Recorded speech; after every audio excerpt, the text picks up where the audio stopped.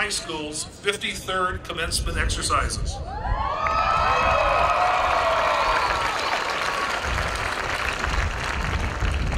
At this time, please stand for our national anthem, to be sung by Senior Mariana Clayton.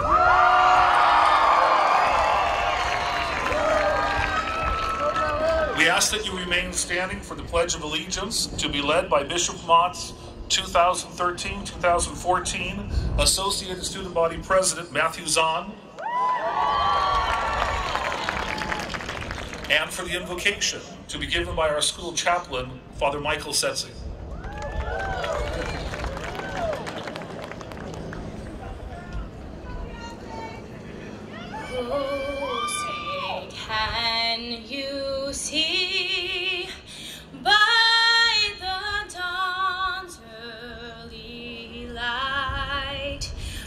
What so proudly we hailed at the twilight's last gleaming?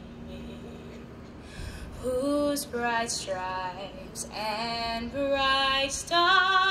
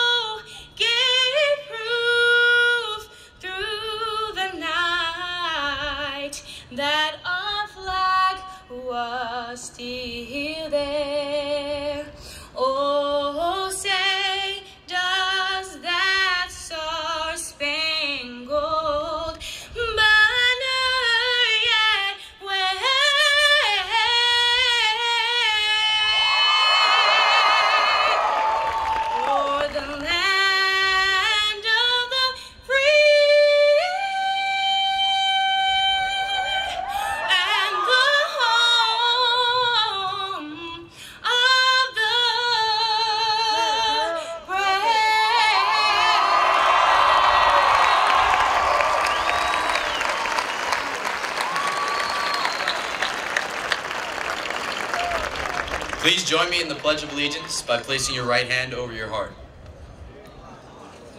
I pledge allegiance to the flag of the United States of America and to the republic for which it stands, one nation, under God, indivisible, with liberty and justice for all.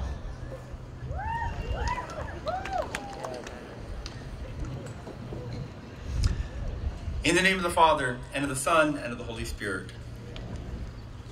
Heavenly Father, as we gather on this beautiful day that you've created for us, we come to recognize the many accomplishments of these students, soon to be graduates. They've given of their talents, they've shared their intellect, they've built bonds over these past four years. We ask your continued guidance and blessing upon them as they go out to serve our nation to continue their academic pursuits and academic and athletic talents. We thank you for their parents who have sacrificed so much in their gifts and talents, and sharing their resources, so these their students, their children, may be successful. We ask your continued blessing upon them as we send them off today, that you may always be in their hearts and that they may always know your love for them. We ask all this through Christ our Lord. Amen. In the name of the Father, and of the Son, and of the Holy Spirit.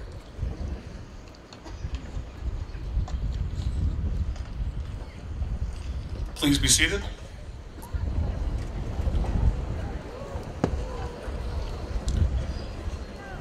It is my distinct honor to introduce to you the principal of Bishop Amat High School, Mr. Richard P. Beck.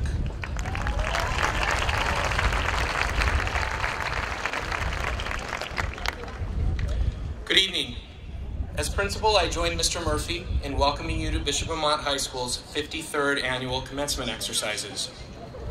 It is with great joy that all of us have gathered here this evening to witness all of you, the members of the class of 2013, receive your high school diplomas. An achievement that has resulted from your hard work, determination, and commitment. An achievement that represents a profound turning point in your lives. In the years leading up to this moment, the support you have received by those who love and care for you has no doubt been great. Your education, and your lives for that matter, have, over the years, been thoroughly planned for you by your parents and your teachers. In school, you have been told what to learn and when to learn it, and how your learning would be measured by your performance on tests and other forms of assessment. All in the pursuit of that final grade determined by what percentage of content learned you were able to demonstrate. But now, in reaching this turning point of your high school graduation, comes a new form of learning. With real life, there will be no one writing daily learning objectives on the board or providing study guides to assist you with new experiences. What you learn will no longer be quantified as easily as it has been before. And the tests that real life has to offer, more often than not, will come completely unannounced.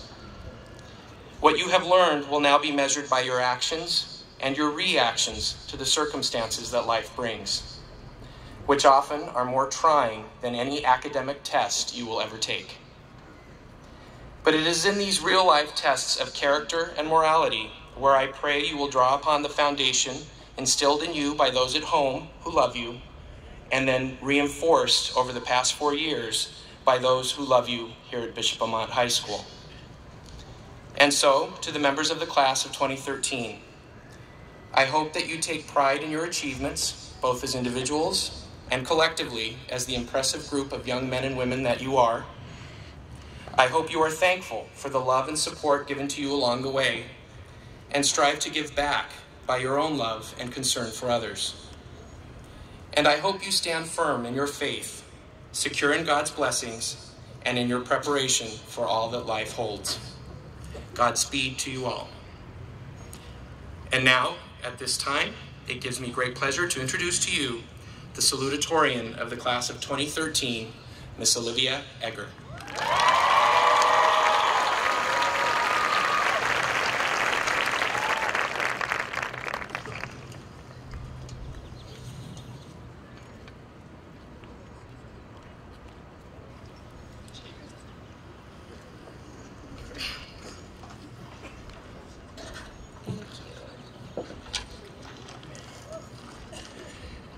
Welcome, faculty, staff, and families to the 53rd Bishop Amat Memorial High School Commencement Address.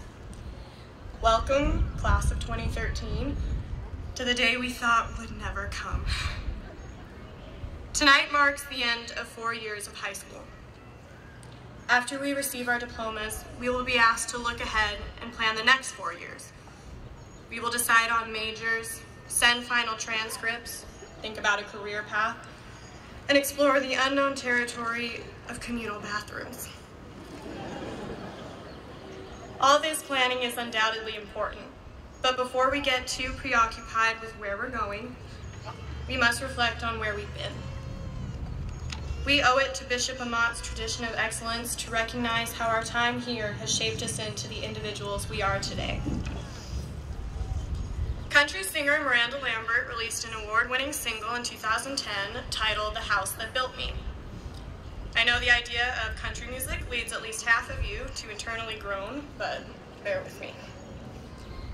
The song tells the story of a woman returning to the home in which she grew up. As she walks from room to room, she recalls different memories that were important to her. In the same way that a house is built brick by brick, a person is built by their experience.